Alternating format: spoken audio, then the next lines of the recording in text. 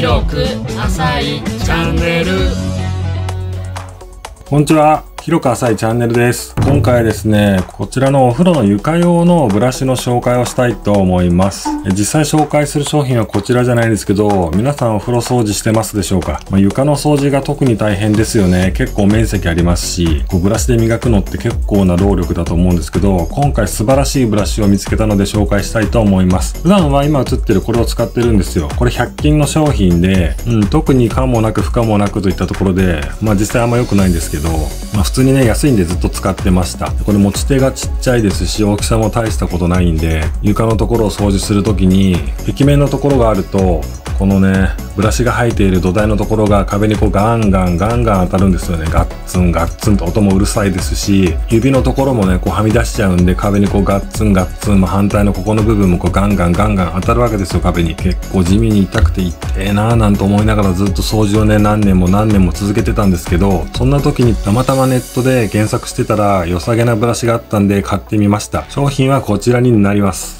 はい、えー、こちらになりますね。速乾床に入り込むってでかいキャッチコピーがあって、メーカーはレックさんになりますね。激落ちくんシリーズです。これ有名だと思います。メラミンスポンジをたくさん出しているメーカーさんになるんで、よくね、これホームセンターでたくさん売ってるので、この顔のマークとか見たことある方はたくさんいると思うんですけど、こちらのメーカーがこんなブラシを出していたので買ってみました。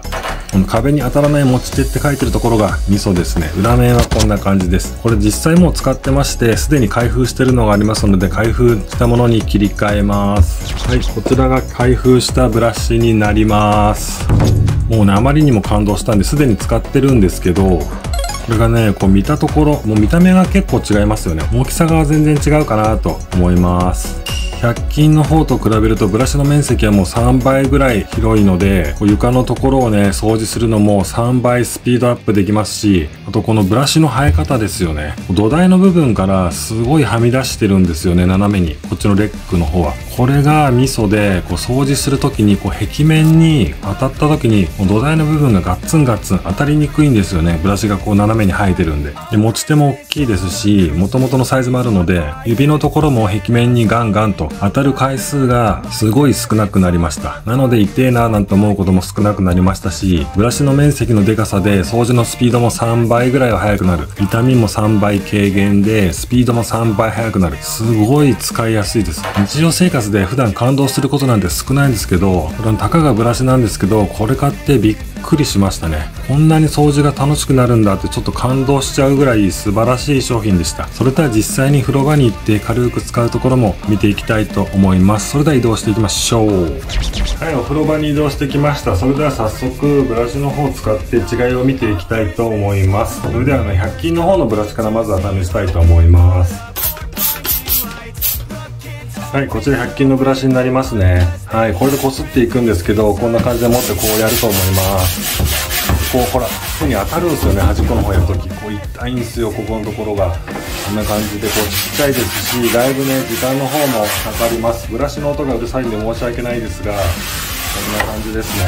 はい。で次は今回のメインの商品のレックのブラシになります。こちらは毛が激しくねこうはみ出してるんですごい掃除しやすい形になっております。それでやってみます。こう握ってですねこうやるんですけどほら毛が端の方がこうなってるのでうん。